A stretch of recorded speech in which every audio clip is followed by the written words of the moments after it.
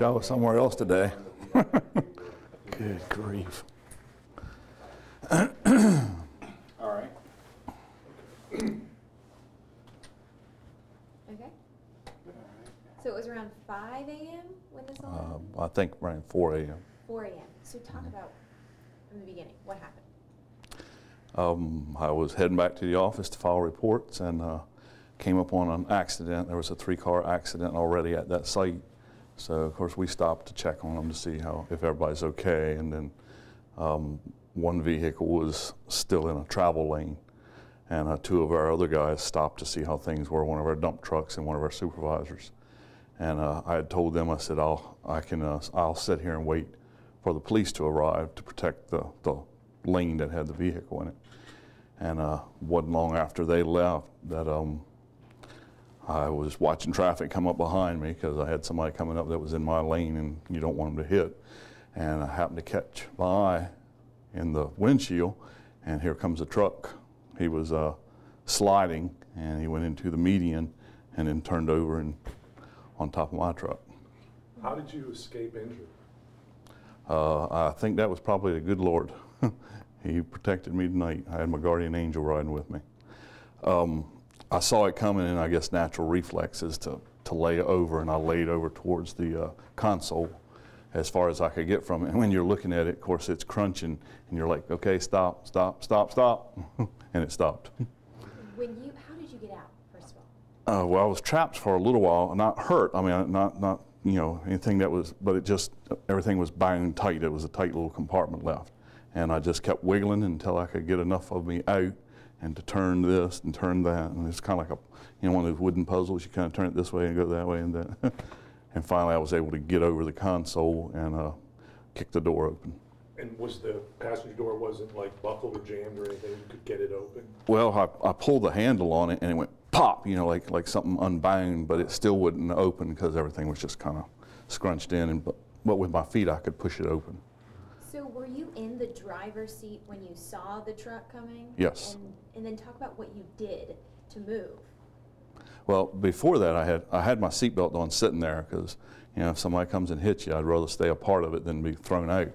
And uh, so as soon as it hit, and I figured, okay, I'm okay. I was trying to find the seatbelt to release that so I could get out, and uh, found that, and um, the steering wheel was down on my thigh, and I was able to pop that out, and then I had to wiggle my foot out from underneath the dashboard, and uh, I, I don't know, it just you just wiggle until you can get free. Well, while I was sitting there, actually, that's when I called 911 and told them there had been an accident and they needed to get an ambulance and uh, some fire trucks and stuff like that for protection. So you called 911 before you even got out of the cab? Is that what you're Yeah, yeah. Before I got out of the driver's seat, because I couldn't move for a while, so I was, you know, they were going to have to probably cut me out. And uh, after I called them, and uh, they said they'd get everything on the way, get an ambulance and stuff on the way. Then I started working at trying to get out, and I was able to work free. And then I went, when I got out, I went to check on the driver of the truck because I didn't see anybody, you know, standing around. And as I went around by the cab of the truck, he was crawling out of the back window. Then he said he was fine, so he was standing there. Did this all happen from when you started seeing the truck swerve to you get out of the way? Mm, um, probably a couple seconds. I mean, it goes, it goes quick. You know, I guess they say things slow down in slow motion when you have a, an incident go on. But you know, all I could do was I was looking in my rearview mirror because, like I said, people were coming up on me. So I was trying to watch them. I was actually pumping at my brake to try to give extra light so they could, you know, catch their attention. And when I did, then I saw the, uh, I saw the. Um, something in the windshield caught my eye, and I guess that was the truck when it was sliding. So, When you finally and I had all my lights on. I mean, I had had the, the uh, bar lights on and the lights on the truck on, and you know, so the guy behind me, I was hoping could see all that. When do you go back to work and with how much enthusiasm? Well, I wanted to come back and finish my shift today, but and it was just about over. But they said probably I ought to go ahead and rest today.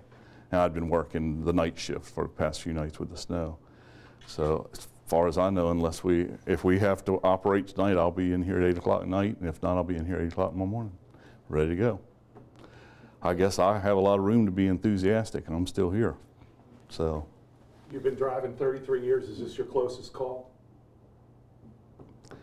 Here, yeah, yeah, I think, so. yeah, I think it's probably the biggest and closest. I've had a couple of accidents, but not with VDOT, but you know, on my own. But yeah, this was probably the most dramatic. When you finally got out of the truck and you saw what that looked like, we've just seen pictures, but when you saw that, what did you think? Hmm. Well, uh, I was very thankful. uh, I had prayed when I was in there. Before I called 911, I, when I saw it happen, you, you do a quick prayer. You're like, oh, good Lord, help me here. I got to have some help. And then when you're done, you're like, thank you, good Lord. um, I'm happy. How's your wife doing with this? Good. She's fine. She says she is. She's she's strong. She's probably a, uh, she's probably a nervous wreck, but she's she's fine. Has she seen the pictures? Yeah. Did she come to the scene? Later on, after after I was getting home from the hospital, she saw it when it was still sitting there. But What did she say to you when she saw that? you know, well, oh my goodness, or something. I'm glad you're okay. And you had, someone said you had some cuts on your hands from holding the steering wheel and, yeah, I guess you know you, you have your hands on there, and I guess that's the thing you grip. and uh, when the roof cr- crushed in, it uh, crushed down on my hands, and uh, and glass was flying everywhere. You know, glass was everywhere. So, so your I'm hands sure. were still, still on the wheel and your body was, Yeah, well, you couldn't lean much. I had a seatbelt on for one and a big console there. So when I leaned to the side, it was like, oh, okay. Did you say the impact actually moved the steering wheel? Is that what you said? It, it crushed it Crushed down. it down. Yeah, on my thigh. I got a sore thigh, and that's about it.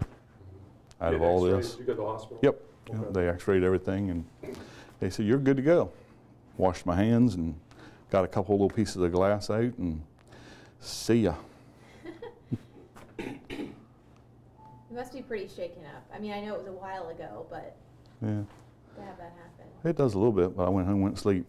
I So was you tired. were- You were, I mean, you had pulled off, but you were plowing at the time? Is that what you, why were No, out? I'm in a pickup. I'm one of the shift supervisors. Oh, okay, all right. So I was, uh, I was in a pickup. One of our plows stopped, and I stopped and told him, you know, why don't you go ahead and keep plowing because we've got to get this snow off the road, and I'll sit here with the accident. So he went on and kept doing his rounds. And it was right before you get to, what is that burger place?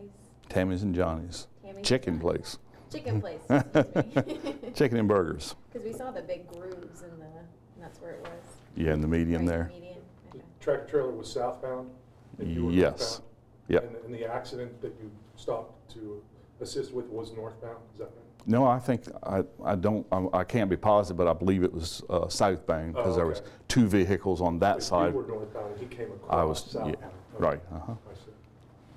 What was it, did the driver say anything to you? Uh, I, I don't remember. Um, no, I asked him if he was okay, and he said, "Yeah, man, I'm all right." And that was it. And I guess- he Kind of climb out of his cab? Yeah, he was climbing. You know, of course, the truck's laying on its side, and he was climbing out the back window when I got there.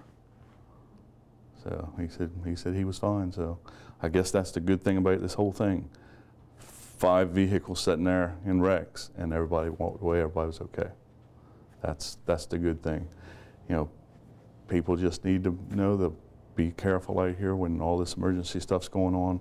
You know, we got we got trucks out here. There's the sheriff department out there, the state police, um, uh, of course, fire and rescue. They're all over the place, and and we've got a lot of our guys. They're out there just trying to trying to get their job done and go home at night. And this morning, everybody got to go home. We're glad you're okay. I'm glad so. Thank you. Thank you. What did That it it? sound like? It was loud. I, I didn't hear him coming. I just saw the big white truck coming at me with a trailer, I think is what hit me. But it was just, uh, you, you hear the glass breaking and the, the metal crunching. Like I say, you hear the crunching and you see it happening and you're like, okay, stop, stop, stop. and then it's all quiet. Was he loaded? Like, was it a fully loaded trailer? Do you have any I- idea? I I'm just don't- curious about the weight coming down on your trailer. Yeah, I don't know. Mm. I don't know any of that. Was there any moment where you thought you wouldn't make it? Yeah, just before it hit, oh, I wondered, like I said, I, I wondered, okay, is, is this it? And I wonder if it's going to hurt. That's the only thing I thought. That's crazy, but yeah. That's the whole thing out here. It can be over in a second. You best have yourself right and ready. So you had mentioned earlier about other accidents you've been in. You've been in worse car accidents than this accident, correct? No, no. Oh, okay. I was just saying I had had other ones, but other ones? no, Oh, this okay. this is the most dramatic by by a long shot. But in terms of injury, have you been hurt in a car accident? No. Oh, Okay. Well, I, I had a sprained shoulder. I had someone pull out in front of me one time, Mm-hmm. and uh, I didn't have any time to react. It was just pow, struck him, and, Mm-hmm. and it twisted me and sprained a sprained a shoulder. But I mean, yeah, nothing bad. Right. But in a sense, you walked away from that a little more injured than you Yep. walked away today. Yeah, maybe that's if I was a cat, maybe that's two. I got seven more. Hmm. Do you ever think just how close, I mean, looking at the accident, how, just how close you came? Yeah. Yeah, you're going to think about that, but I'm not going to dwell on it. You know, Every day things probably happen that I miss by that much, and I don't know it. So I'm not going to I'm not to sit somewhere and cower the rest of my life just because something bad happened. I got away from it, so that can't be so bad. The bad stuff you never know about. Is this changing perspective on anything at all? No, I have a strong faith in God, and uh, this only reinforces it.